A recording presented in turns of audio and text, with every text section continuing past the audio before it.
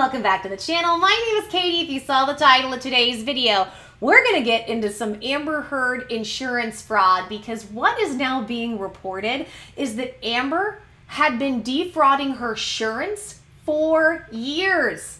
Defrauding the insurance for years. And I want to go over some of that information and point that out. And is the ACLU involved? And if that's the case, what is going to happen? Could she even get criminal charges for this? Because fraud, it's one thing for the insurance company, which we know that they are suing her so they don't have to pay any of those legal fees or they don't have to pay Johnny, which is understandable. But if you are willfully committing fraud, that can fall under certain criminal acts. So what is going on there and was she defrauding them for months and was the ACLU involved? And guys, if you like this kind of content, I would love to have you here. We just giggle about the stupidness of all the stuff in the media that we're being force fed because they treat us like we're dumb. so we giggle through it every day. Love to have you. Make sure and subscribe, hit that notification bell. And I'm giving away a $100 gift card. Really simple to win my money because almost nobody's doing it right now. This is all you have to do to be eligible and entered. Like the video, subscribe, hit notifications, comment, share the content, watch the video from start to finish. Boom, you're entered, you're eligible. That's all you have to do. Make sure and do it for every video you see. The more likes, the more shares, the more comments, the more times you watch from start to finish, the more chances you have of winning. I will announce one winner August 1st. I would like to do this every week. We're going to try it for now to see what happens. Good luck, everyone. I got to see if I can actually keep this up and see what's going on there. But let's go ahead and let's dive into it. So we know this week, Heard had major losses. We're really over the last couple weeks. First, we know she lost her case with Johnny, which is huge. Well, then, she and Elaine, as we know, went on the PR circuit, the media circuit, took them a month talking about their victims. There's no personal accountability or very little of it taken. But then they filed to get this verdict thrown out. They filed motions to strike and get this completely done. Johnny's team wasn't having it. They filed, they shot back, and then we had to sit back and wait for Judge Penney. And we had to wait on pins and needles for a few days. And we were all pretty at this point, like, we pretty much knew this wouldn't fly, but we were just waiting for it, right? I was like, if Elaine pulls this off, it will be the legal jujitsu move of the century. Probably not going to happen, though. And that's exactly what happened. Judge A ripped her apart. They tried to say Juror 15 was a fake juror. We know all about that, right? Juror 15 isn't who they say they were, blah, blah, blah, blah. And, and several other things, like they didn't prove defamation, they didn't prove malice. Judge A was not having it, completely shot it down.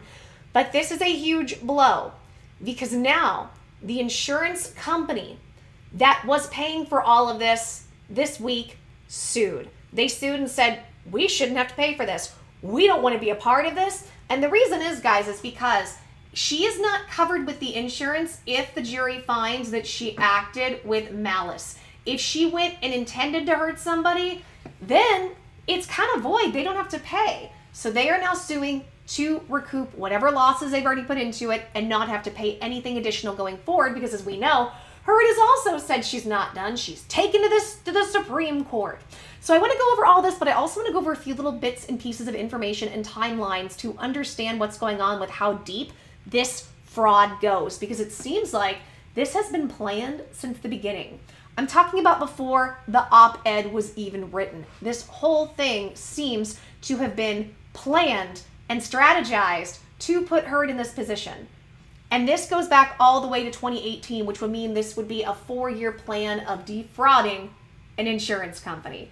So let's jump on and see what's going on. So here we have from people.com it says Amber Heard's insurance provider takes legal action to not pay damages or fees from the Johnny Depp trial. Amber Heard's lawyer said last month that the actress can absolutely not afford to pay the damages for the Johnny Depp defamation trial verdict says Amber Heard's former insurance provider is taking measures to not be held responsible for paying the actress's legal fees and damages in her defamation case with ex-husband Johnny Depp.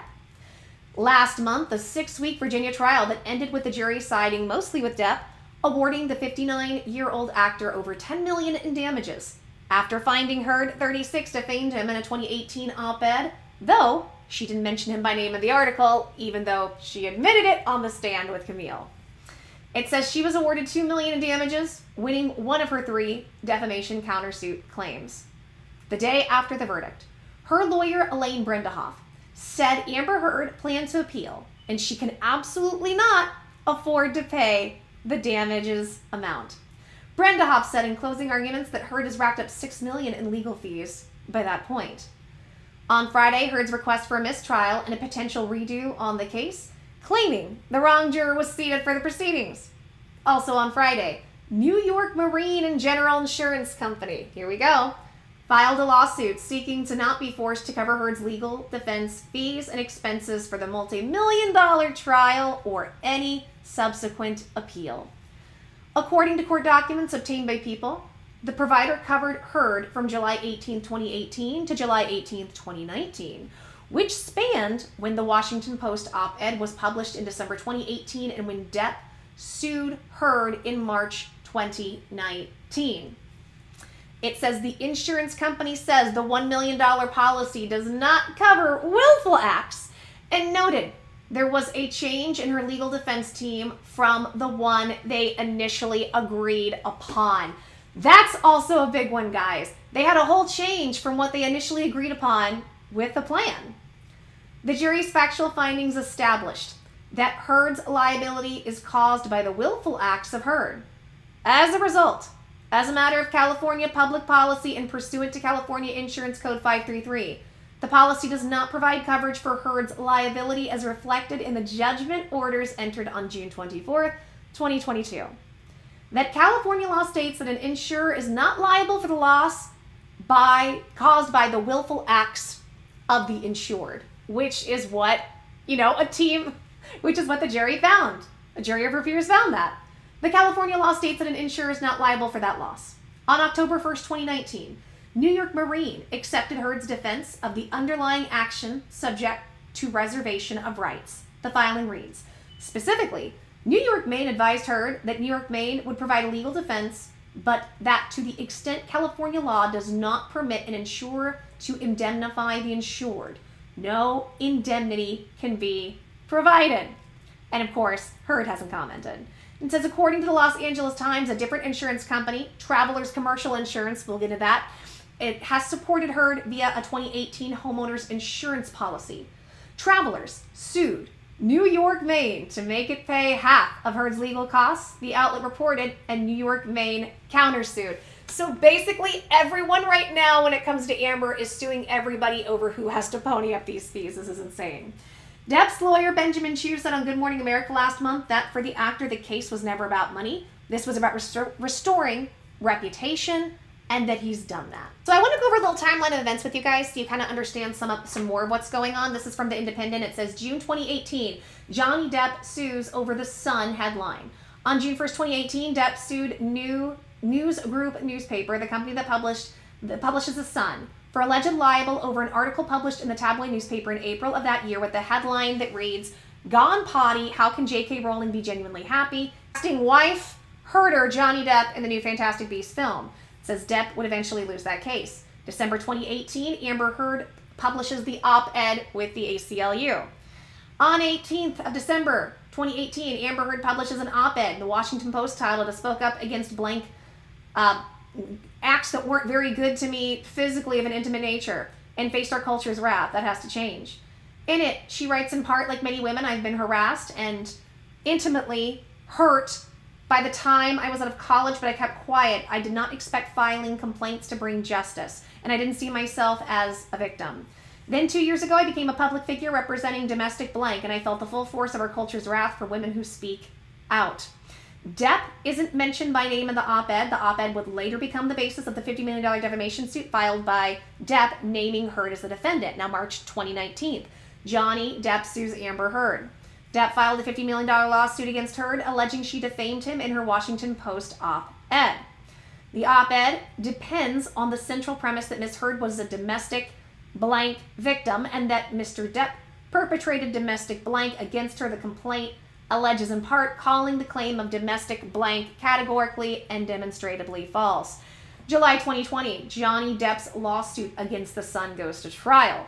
The trial opens on the 7th of July 2020 in London. Johnny Depp and Amber Heard both arrive at the High Court of Justice, where Heard scheduled to testify in support of The Sun. Depp's lawyers argued he is seeking vindication, not money, and Depp himself denies the allegations of domestic blank. A spokesperson for Heard tells Vanity Fair Heard never asked for these proceedings to take place and has tried to move forward with her life. The trial lasted for three weeks with explosive allegations emerging as part of the evidence and testimony, and then proceedings wrapped up at the end of July. In August 2020, Amber Heard countersues. Heard files a $100 million suit against Depp in response to his libel lawsuit, accusing him of allegedly orchestrating a smear campaign against her and describing his own lawsuit as a continuation of hurting somebody and harassment. In the filings, Heard asked the court to grant her immunity from Depp's complaint and asked for compensatory damages of not more than 100 million, specifying this is twice the amount Mr. Depp asserted against Heard. November 2020, Johnny Depp loses his libel battle against The Sun. And then in March 2021, Johnny Depp is denied permission to appeal loss in The Sun case. So he was denied that with that, right? And then April 2022, of course, we know what happened in Virginia. Now, I want to go over some of my notes with you so I can kind of explain some of this. So now we have some of the timeline as to what has happened, right? So they want to be absolved, right? So New York Marine wants to be absolved of any of this and having to pay for any of this. They don't want to have to pay for her legal fees. They don't want to have to pay for the judgment or any ongoing further costs or litigation. So from July to 2018 to July 2019, she was covered by this insurance policy when all of these different trials and things were going on. So here's the thing. We know December 2018 was when the op ed was published, right? We know the ACLU, like the first half of it was written by their ghostwriters, like they wrote it for her. We know all types of stuff about her and the director possibly being in bed together and all of that, and whatever way you want to look at that and take that. But so she got this insurance policy, right? From July 2018 to July 2019. And this looks like they prepared everything in advance because then on November 18th, she got a huge homeowner's policy. Okay? So November 18th, one month before, she gets a homeowner's policy that would cover her if she was sued which is exactly what happened. And then in De- between December 2018 and January, she bought a huge house. So she took a lot of that money and was distributing it places. She got insurance set up in place so she could do this. So think about this. She the jury has said you willfully and maliciously went after him to hurt him. And it looks like in what she was doing, she was planning this for months with getting this two different types of insurance, getting the house, moving money around, and doing this Washington Post article. So then here's the question this would be considered fraud. So can they go after her criminally for this? Now, I think at the end of the day, they just want their money back, right? Between Travelers Group and the other insurance company, New York Marine, they just don't want to have to pay anything. But Herta said she doesn't have any money. And what billionaires are now going to be ponying up for this? So a lot of people are wondering how far does this go with fraud and are we going to see any possible charges come down the pipeline? If she can't appeal this verdict, and we know she's going to try, she said she's taking the Supreme Court. If she can't get this overturned, guys, if she can't appeal this and this judgment stands, we know people are going after her civilly. What happens to her criminally, though? Does something happen as a result of her willful planning to hurt him and this ends up defrauding two big insurance companies. I want to know what you guys think. Tell me what you think about all this. Sound off in the comments and let me know. As well, guys, if you like this video, you want to stay around and giggle our way through some of this stupidness, make sure and subscribe, hit that notification bell, and my $100 gift card giveaway, like I said, almost nobody's doing it, so you have a really good shot of winning. This is all you have to do. Like the video, subscribe, hit notifications, comment, share the content, watch a video from start to finish, boom, you're entered, you're eligible, that's all you have to do. Make sure and do it for every video you see, because the more likes, the more shares, the more comments, the more times you watch from start to finish, the more chances you have of winning my money, because the more times you are entered to win. All right, guys, I think that's it for me here. Take care, lots of love, lots of blessings. Till the next video, I'm giving everybody hugs. Kisses, stay safe, and I will see you soon. Bye, guys.